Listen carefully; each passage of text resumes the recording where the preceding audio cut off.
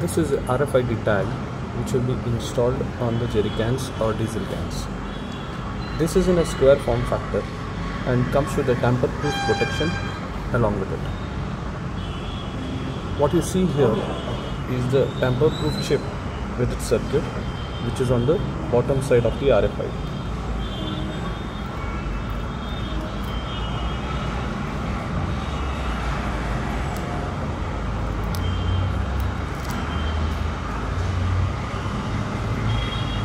This part gets pasted on the jerry can and it will be locked with a one-sided pin lock.